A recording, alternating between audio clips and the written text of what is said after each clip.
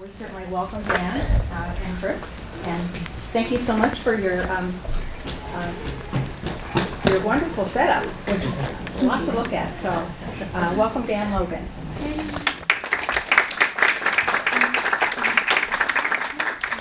Well, thank you all for uh, coming, and um, I'm going to uh, give you. Uh, there's probably not going to be quite enough, so if Uh, families can uh, share one, it's uh, some uh, dates in the civil rights history, and then some quiz questions on the back to kind of challenge yourself if you can remember names and events that might represent the, uh, the topic of the day.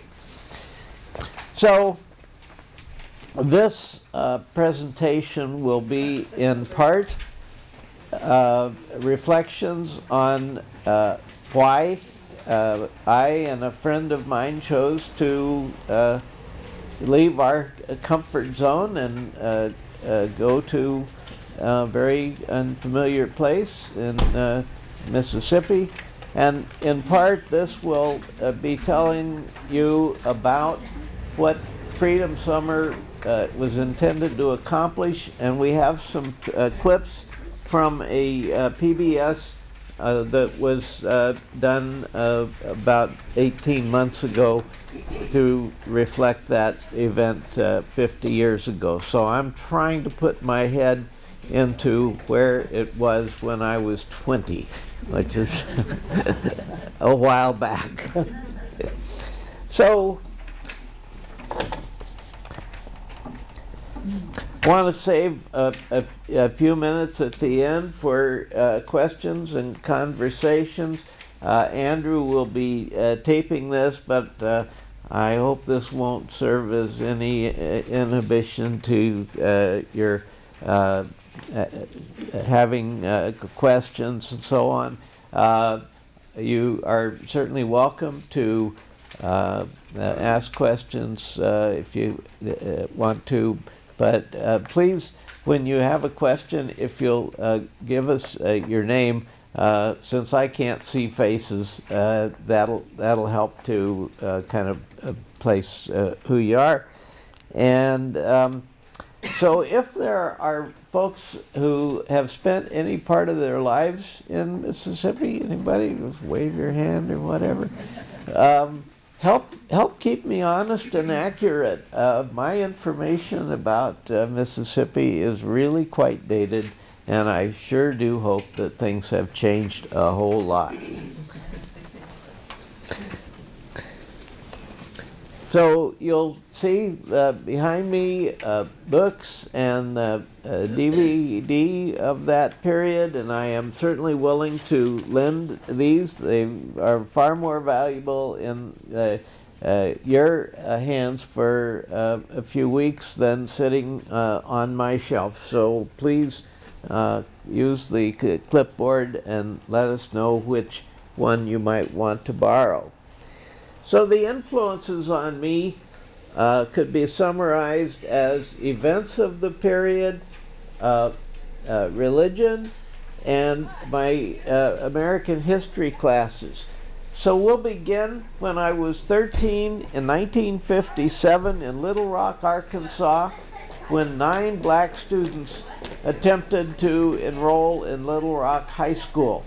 And the townfolk uh, arose in opposition, and Governor Orville Faubus uh, uh, stood in the classroom door, so to speak, and uh, so I saw him on TV, and I wrote a one-page paper for my eighth grade social studies class quoting this governor. I could not understand the unfairness of segregating children on the basis of skin color. And uh, to me, uh, his remarks uh, struck me as ignorant.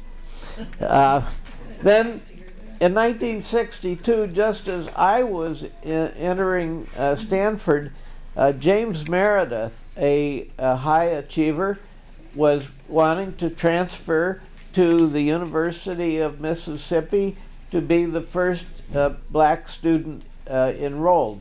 And again, the students and the town folk and many from distant places came to Oxford, Mississippi, and a riot erupted uh, on national TV for three days, uh, completely out of control.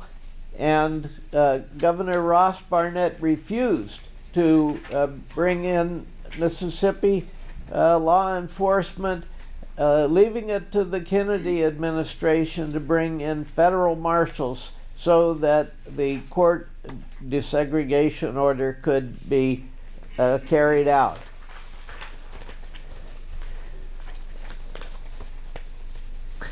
Uh, as for religion, I was uh, taking classes at Stanford taught by Dr. Robert McAfee Brown, who was known for uh, his uh, conscientious objector status during World War II. And he had us reading uh, theologians Karl Barth, Dietrich Bonhoeffer, Reinhold Niebuhr, and Martin Luther King. Uh, Christianity was moving much uh, toward uh, faith in action and understanding social gospel. These were the years of the Second Vatican Council in Rome under the guidance of Pope John the 23rd. Uh, the Catholic Church was uh, moving toward change, and for the first time in the 400 years uh, since the Reformation, Protestants and Catholics were finally talking to each other. and uh, if uh, to, to understand the influence of uh, John 23, uh, think only of Pope uh, Francis.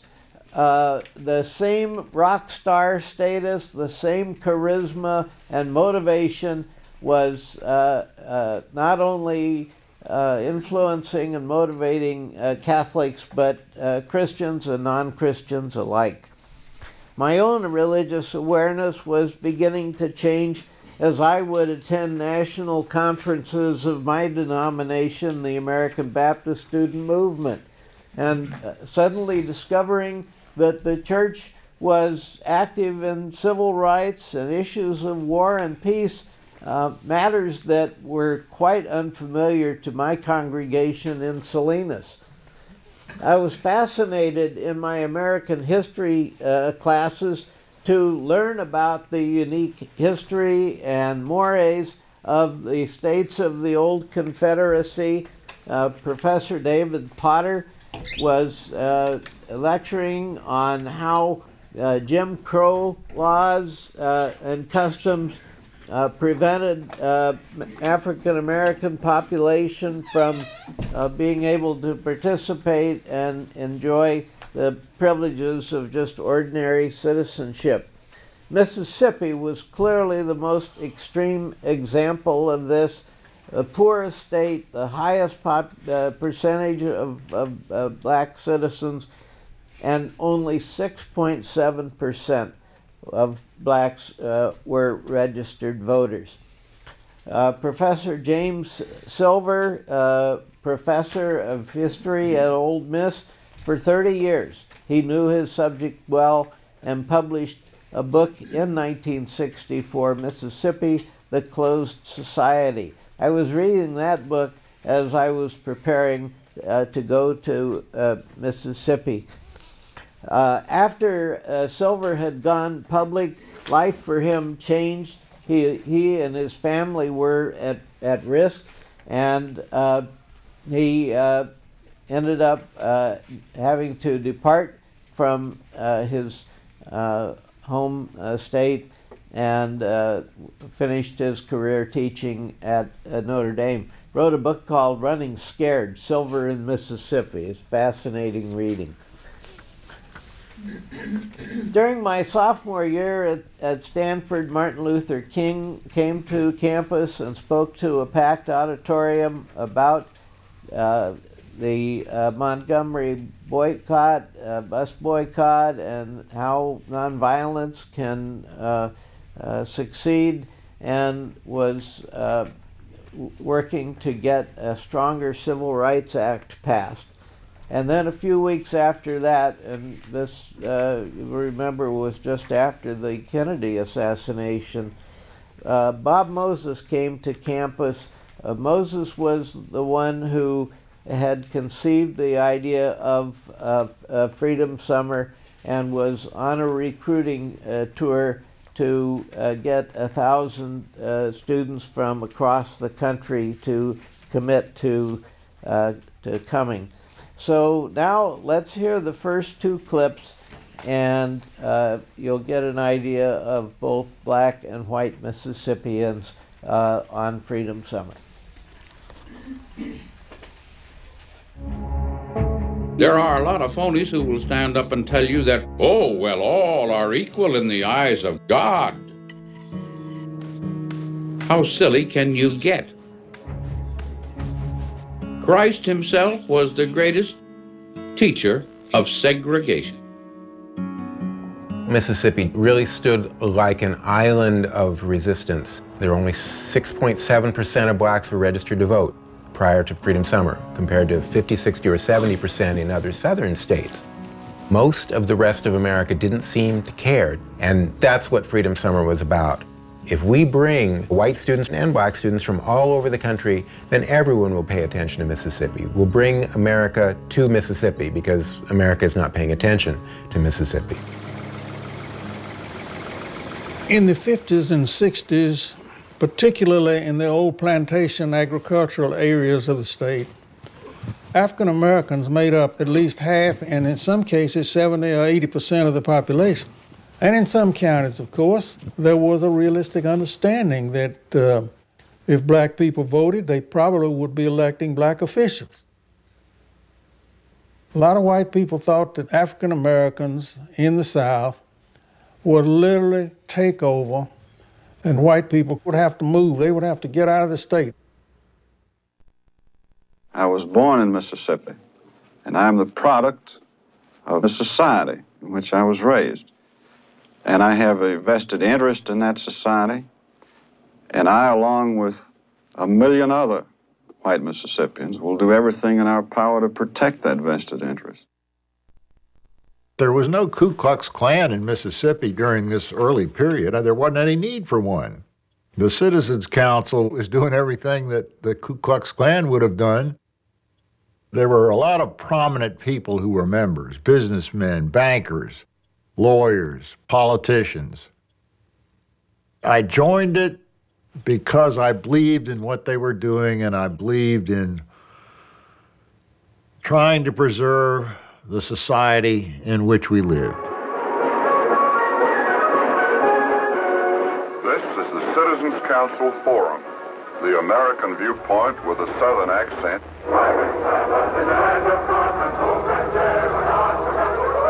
The Citizens Council was really running the state of Mississippi. It was part of the whole apparatus of, of a white supremacist society.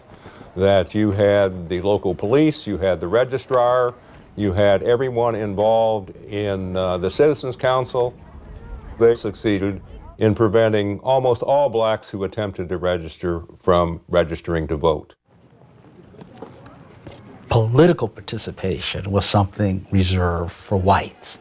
And if blacks sought it, they could get hurt in lots of different ways, ranging from economic reprisals, loss of jobs, or if you had a business, uh, uh, restrictions or being placed on your business, or if you had a loan, your loan being called in.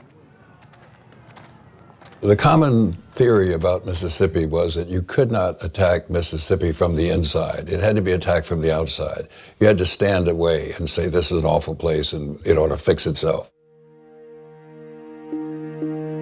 But Bob Moses and the Student Nonviolent Coordinating Committee said, no, that's not true. We can do it ourselves. Bob Moses was a high school teacher in New York City. He went south in 1960, originally just feeling he had to go, had to get involved. SNCC sent him to Mississippi.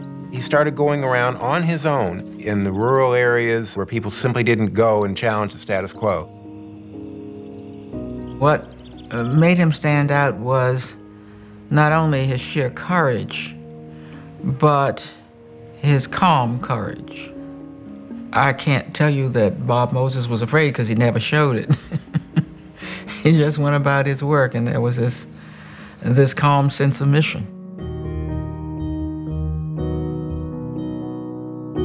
Bob went over there by himself in 1961, and by the end of 61, maybe there were five or six people in the state. In 62, maybe there were 18, 19, and in 63, maybe there was 23, 24. When we'd have a staff meeting, we all fit in one little room. Young people working with the Student Nonviolent Coordinating Committee, or SNCC as we call it, are characterized by restless energy. They seek radical change in race relations in the United States. Their world is upset, and they feel that if they are ever going to get it straight, they must upset it more. I don't want anybody to think that we were a bunch of really brave Negroes running around Mississippi. That's not what we were. The reason that SNCC, as it were, opened up the Delta is we were young and foolish. We didn't have the, under, the, the very complete understanding of what that risk was. We will treat anyone with great respect here in Mississippi. Anyone who comes here, as long as they do not disobey our laws. But we will treat the people who come here, these children, like any other backward children. Go, Mississippi, keep rolling along. Mississippi, you cannot be wrong. They're outsiders coming down here trying to change the world, and, and there's natural resentment. I mean, that's common sense. M-I-S, S-I-S, S-I-S. We didn't think those people understood uh, what kind of society we had here. Uh, you know, these college students would sit up there at Oberlin and there'd be a articulate, uh, well-groomed black person sitting next to them, and they assumed all blacks were like that, and they weren't. They're coming for the purpose of registering blacks to vote, and since this state had the highest percentage of blacks of any state in the United States, that posed a real threat politically. There was a siege mentality, us against them, and I hated them. Your song. M-I-S, S-I-S, S-I-P-P-I.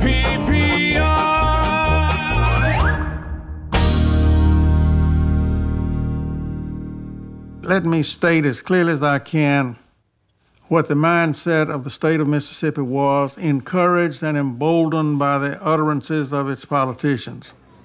If the white people of Mississippi will just stay together, will just stick together, there is no force in this country that will cause segregation to be ended. That was the mindset. We face absolute extinction of all we hold dear unless we are victorious. We can win, my friends, if we organize in every community in Mississippi and all over this nation of ours. We must be stronger than the enemy. We must be strong enough to crush the enemy. They're caught in a circle which, if there are people who want to break out, they don't know how.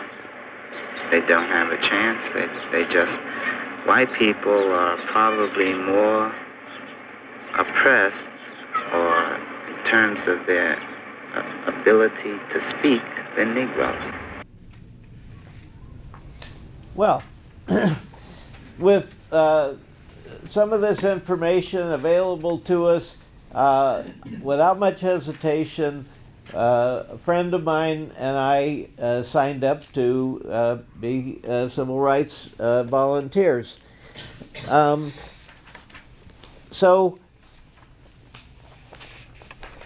we were told that we would be responsible for getting to the state, responsible for our own expenses. We'd have to raise some money. Um, that the project would arrange for housing for us and some of our meals while we were there. We were expected to understand and commit to a code of conduct that included nonviolence. We learned about the risks to our uh, personal safety. We'd be viewed as outsiders. We'd be expected to behave as representatives of the organizations. Now, uh, so we talk about preparing to go, but keep in mind that what we were doing uh, in uh, my hometown of Salinas was going on in the homes and communities of all of these 700 people from uh, all over the, uh, the, the, nation. So my parents were devout Christians, uh, but religiously motivated social action was not part of their background. And we had some interesting conversations uh, about how important this had become to me. Um, I have a, a, a handout here uh, that might be of interest to uh, young adults uh, uh because there are issues uh, today that might cause people to uh, leave their comfort zones just as we did. You might even think of Ferguson as kind of an example of today of some of the challenges that we still face and will always face, really. Uh, my parents were certainly very concerned about my personal safety, particularly when uh, three of the uh, uh, volunteers disappeared during the first week of the project. I learned much later that my dad had gone out and bought a couple of life insurance policies. so, since we did have to raise some money, I uh, was able to get uh, an interview on uh, KSBW uh, TV since I'd uh, been an employee there several years earlier, and we got a article, two articles in the Salinas Californian, and I would hope that with that publicity, some checks would start coming in. Well, it didn't work like that.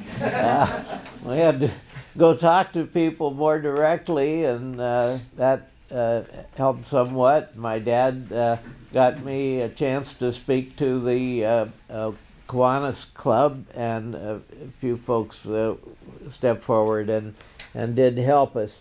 Um, so I got an opportunity to speak at the Sunday evening uh, service at uh, my uh, church, the First Baptist of Salinas, where there was a hundred people there that night, most of whom had watched uh, little Danny Logan grow up from infancy to uh, now this uh, know-it-all college student, and so I I used as my biblical text the the words of Jesus, "In as much as you've done it to the least of these, my brothers, you've done it to me."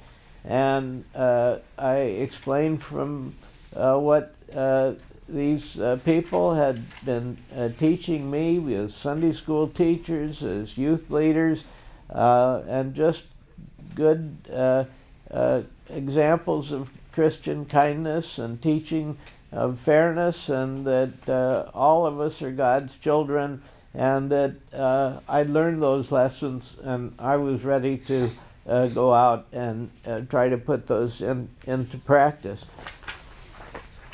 So now we're ready to uh, be on our way, and uh, so uh, we quit our jobs as uh, YMCA day camp leaders and headed off in the in the heat of summer. Now our roles in this project were were relatively um, minor. Uh, but the uh, impact of this project have uh, remained in my mind one of the most uh, uh, memorable lifetime achievements. We drove across the desert in midsummer, slept out under the stars beside our little uh, MG that Richard had no air conditioning. We drove the whole way with the top down. and so, uh, despite these uh, three missing uh, civil rights workers, uh, there were uh, 700 of us that were selected to participate. The sponsoring organizations included the Student Nonviolent Coordinating Committee, uh, the Southern Christian Leadership Conference, and the NAACP that I think most of us are familiar with. So uh, before we could uh, be dispatched out to uh, the uh, state, uh, everyone was required to participate in uh, training, and mine was held at Tougaloo Christian College, the campus just outside of Jackson, Mississippi, where we were taught how to avoid getting caught in the clutches of the KKK, which by then was very active, and even uh, sheriffs in the rural counties were really no different than the KKK. Um, anytime we were going to make a trip out of uh, Jackson, we first of all had to phone in, give a detailed uh, description of where we were going, when we were expected to arrive, and then uh, as soon as we arrived at our destination, again, we had to make another phone call and confirm that we had arrived safely. And uh, that didn't always happen, and uh, a plan was put into action to find out what had, had happened on one of the workers' uh, uh, plans. Well, my first assignment uh, for Freedom Summer was right uh, there at headquarters in Jackson, where I was made responsible for keeping the daily incident log updated. Uh, the who, what, when, and where of reports that were uh, telephoned in constantly of uh, maybe uh, a worker that had been uh, followed in their car uh, down a, a, rural road or a church that had been burned after being used for freedom schools. And so uh, after uh, we had all the incidents uh, compiled for a day, I'd get it typed up, and then using an ancient mimeograph machine, we'd crank out copies and make sure everybody was kept up to date as to what was going on. My first Sunday in Jackson, I went to church at a Baptist church. It kind of seemed like all the churches were Baptist, whether black or uh, white and the, the, the uh, pastor preached a sermon on the uh, Good Samaritan. And as uh, I was uh, uh, going out, I introduced myself, asked for an appointment. And uh, when I got there to see him, I introduced myself as a civil rights worker and was interested in knowing what his congregation was uh, doing for the needs of their black uh, neighbors. And he uh, very proudly told me that he was on a committee to uh, rebuild a church that had burned down. And I said, Well, that's great, but there are dozens of them being burned down this uh, summer. And uh, he didn't want to talk about that. Uh, what he really wanted to know was what the state of my soul was, and I assured him that my salvation had had from a very tender age. And then he wanted to talk about my friend's soul, and I, I, I, I really found well, if that's as far as I can get with a seemingly enlightened person, I, I guess I see what what our challenge is here. Um, so.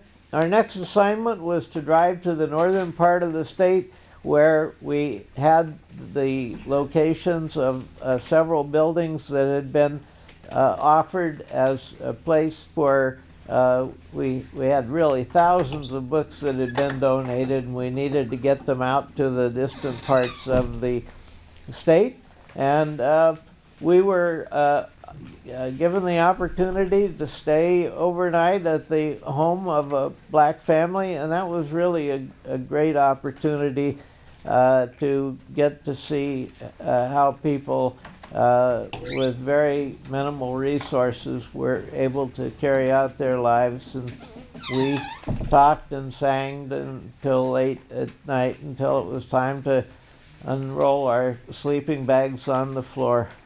Um, so voter registration, uh, well, no, I guess what I wanted to say first was that the, uh, the, the uh, freedom schools uh, was uh, a, a, major uh, a, assignment. And so we have a clip here that will give you some idea of how the Freedom Schools operate.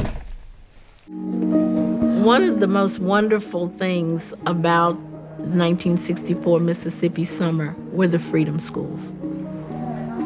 The state of Mississippi deliberately and systematically kept black people uneducated and ignorant, and then turned around and made education a requirement in order to participate in the political process. We were able to do the Freedom Schools in the summer of 1964 because we had almost a thousand students coming to the state of Mississippi, thus the human resources to actually, you know, conduct classes. We hope to find and develop and mold local leadership among the young people. We also hope to promote a better self-image among the local Negroes. We would send out mass uh, flyers and and everything to the churches, uh, telling people about the Freedom School, what the Freedom School was going to entail, uh, the courses, uh, the activities. We got the preachers involved, we got the kids involved.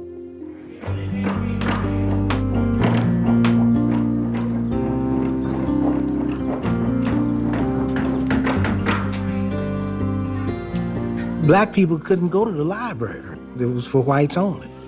And so here they are, got their own library now. They would come excited to be exposed to the teaching and to browse the books. In the public schools where I was in school, I had never heard of Dr. Seuss. It was at Freedom School where we actually not only read the story of the cat in the hat, but we acted it out. Having our lives enriched by these activities really made a huge difference in my life.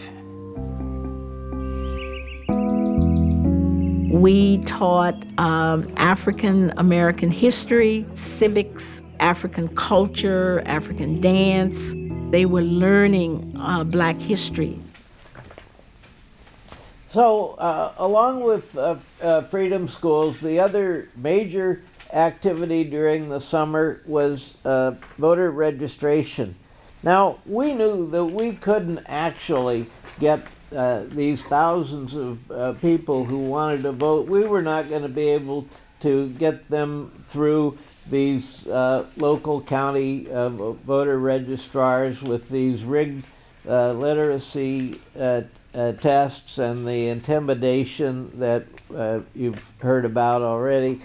So, what we did was using the Mississippi registration forms and uh, role playing what it was like to go to that county registrar. We, we were able to register thousands of people in each of the uh, uh, counties so that then they would go to a county convention, just like the regular uh, uh, uh, and, and, and in Mississippi, there really was only one party. It was an all-white uh, uh, Democratic uh, Party. So uh, we created the Freedom Democratic Party. And so they would go to their county and hold a convention, select delegates that then went to the state uh, party convention and conducted it in parallel fashion and elected delegates to the National Democratic Convention that was being held in Atlantic City that year. And the goal was to send a biracial delegation and uh, ask the Credentials Committee to seat this uh, uh, uh delegation rather than the all white uh, uh, delegation. And it was amazing the kind of support that uh, this uh, uh, garnered among people from going to that national convention. And um, so the, the goal was to show that that our delegates uh, more truly reflected the goals of the Democratic uh, uh, Party. Uh, so we're not going to have time to tell you the whole story of how that worked, but I wanted you to see a, a, clip of Lyndon Johnson's interesting press conference in which he is attempting to keep uh, Fannie Lou Hamer uh, from uh, appearing on national uh, TV. And you'll see what an amazing uh, person uh, she is, an authentic voice of uh, uh, uh, rural Tennessee. The sharecropper who had been evicted from her plantation had come to symbolize the Mississippi movement. Mr. Chairman, and to the Credentials Committee, it was the 31st of August in 1962 that 18 of us traveled 26 miles to the county courthouse in Indianola to try to register to become first class citizens. We was met in Indianola with by policemen. The president, Lyndon Johnson, he's not afraid of uh, Martin Luther King's testimony. He's afraid of Fannie Lou Hamer's testimony. And so he decides that the country should not see her testify live. Johnson is in the White House, and he convened an impromptu press conference. We will return to this scene in Atlantic City, but now we switch to the White House and NBC's Robert Goralski. Now, ladies and gentlemen, the President of the United States. On this day, nine months ago, he did it knowing that they would break away, thinking he might announce who his choice of vice president was going to be. Instead, he gets up there and he announces get this he announces that it's nine months to the day since, since Governor Connally, who was there, was shot along with President Kennedy. So he announced a nine month anniversary. Everybody's scratching their heads. Thank you very much. And then he leaves. And by that time, Fannie Lou Hamer's testimony was over. However, it backfired on Johnson because it became a story that she had been taken off television and in the news that night and for days afterwards, they replayed her testimony. I was carried to the county jail and put in the booking room. They left some of the people in the booking room and began to place us in cells. She had Mississippi in her bones. Martin Luther King or the SNCC field secretaries, uh, they couldn't do what Fannie Lou Hamer did. They couldn't be a sharecropper and express what it meant, right? And that's what Fannie Lou Hamer um, did. And it wasn't too long before three white men came to my cell. One of these men was State Highway Patrol. He said, We're going to make you wish you was dead. I was carried out. I was in Mississippi watching it on television with local people. This was a transformative uh, moment for the folks in that room. This was the first time that they ever had seen one of their own, a black Mississippian who they all knew, first of all, on television. Secondly, um, standing up for their rights. I began to scream, and one white man got up and began to beat me in my head and tell me to hush.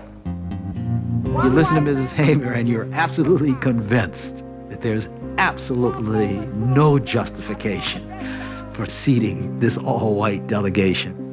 And if the Freedom Democratic Party is not seated now, I question America.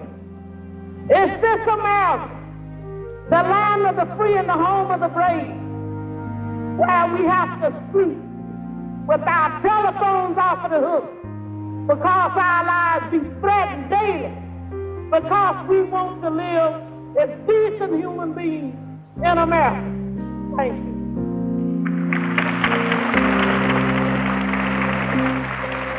That testimony offered in public session last Saturday, we are told, had the greatest impact on the women members of the Credentials Committee, and it is from among them that a sufficient number has been found to make a minority report possible.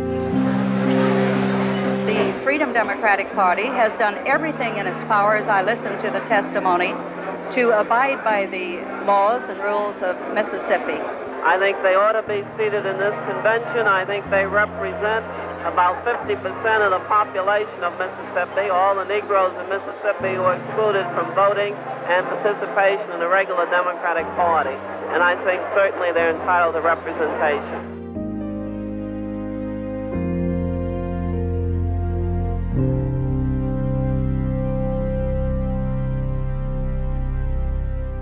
There was a lot of sympathy for uh, seating this Mississippi Freedom Democratic Party.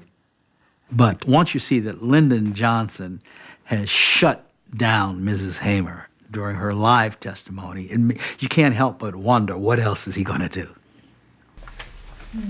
Well, this this was quite a morality play, really. Uh, and uh, in uh, Jackson, uh, we were uh, watching our heroes uh, as they Uh, got on uh, national uh, TV, and we thought for a while there was a good chance that that they would be seated. But LBJ really did have a lot of tricks up his sleeve.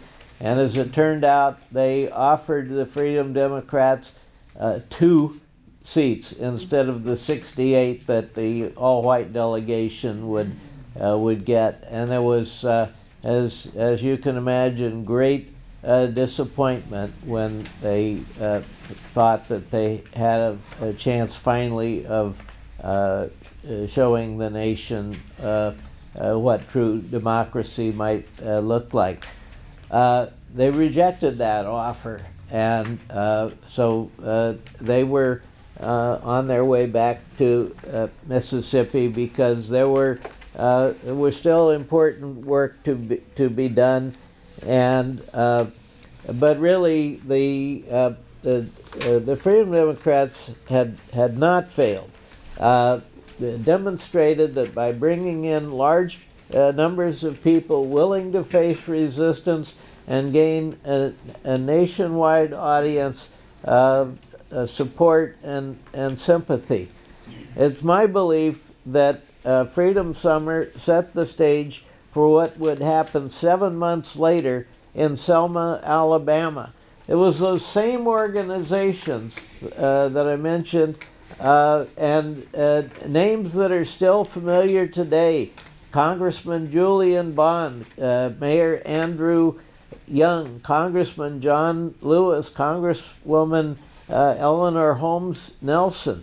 And uh, after the confrontation uh, in Selma, uh, the uh, mood of the nation had finally reached the point where Congress passed a true uh, Voting Rights Act. It was signed into law in August of 65. Johnson signed the law, and by the end of that year, 60% of uh, black citizens in Mississippi uh, were registered voters, and even today, Mississippi has more black elected officials than any other state.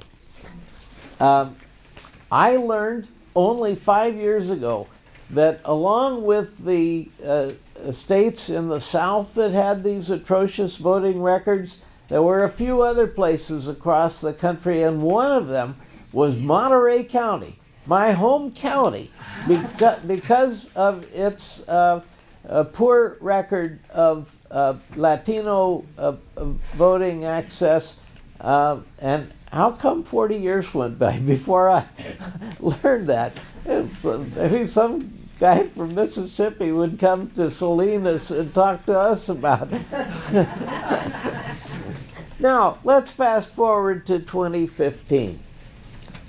Last year, the Supreme Court ruled that the Voting Rights Act no longer reflected the changes that had taken place in the last 50 years. Five justices invalidated the section that required the seven states with the worst voting records that would require them to get pre-clearance from the Justice Department before they could make changes, like eliminating voting places uh, near uh, minority neighborhoods or cutting back on voting hours. And so the court took this step to really gut the Voting Rights Act, even though Congress had reauthorized this act in 2006, signed by President George Bush.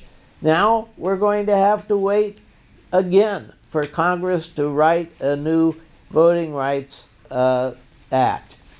There are organizations like the League of Women Voters of the United States, uh, the Southern Poverty Law Center, and I'd encourage you to check these out on the web and contact our representatives. And also, right here at uh, Stanford, we have the National Archives for the uh, Martin Luther uh, King Center.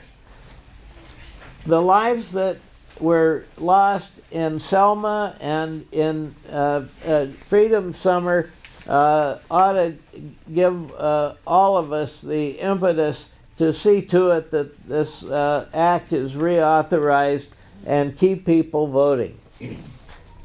Now, uh, I don't know if any of you have had a chance to look at uh, my uh, quiz questions, but uh, if, if, you want to pull that out, I'll just quickly give you the, uh, the answers and uh, see how, how, how you might do. So the first one, and these are all kind of, you know, one is not like the others. And so the, the answer for one is D, Lyndon Johnson.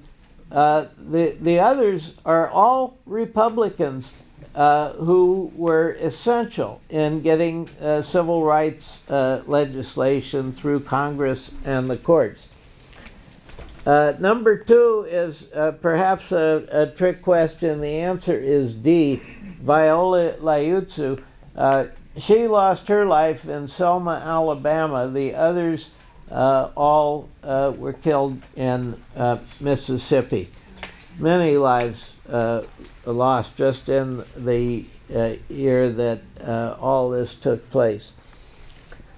then three, the, the answer is B, unions the, all those others, convict leasing and uh, sharecropping, were just methods that were used to get people uh, to continue uh, working in the cotton industry under more, very unfavorable work conditions.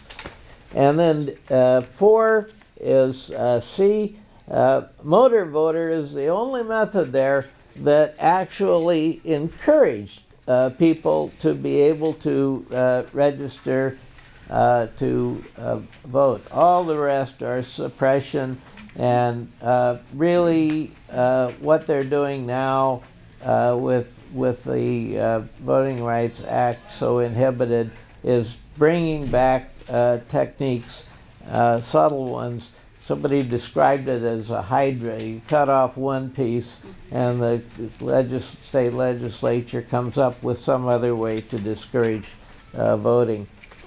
So, uh, before we get to questions, I want to uh, be sure to thank uh, uh, Chris Logan and Andrew Mellows for uh, such essential help to me in making this presentation.